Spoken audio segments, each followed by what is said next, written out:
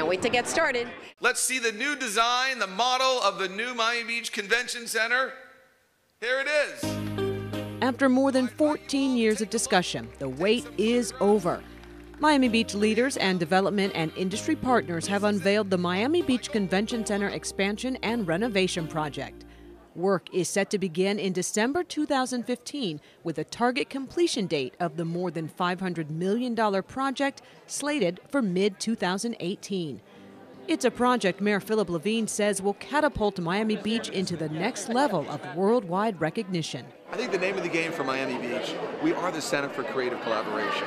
We want people from all over the world to come here, but we want them to stay at our hotels. We want them to use our public transportation. A renovated convention center that we're going to do now, so state of the art, it'll attract the right type of conferences, the right kind of conventions, and truly, really brand us as a Center for Creative Collaboration. Originally built in 1957, the convention center underwent renovations in 1989. The new expansion project, say city leaders, places Miami Beach at the leading edge of innovation. When completed, the convention center will offer 505,000 square feet of exhibit space, a 60,000 square foot grand ballroom, and 59,000 square feet of meeting spaces. With an environmentally themed design, the LEED certified project also will utilize sun shading design concepts, leading to a 20% energy reduction. And a key feature benefiting convention attendees and locals 806 on site rooftop parking spaces and 12 acres of surrounding parks and landscaped areas.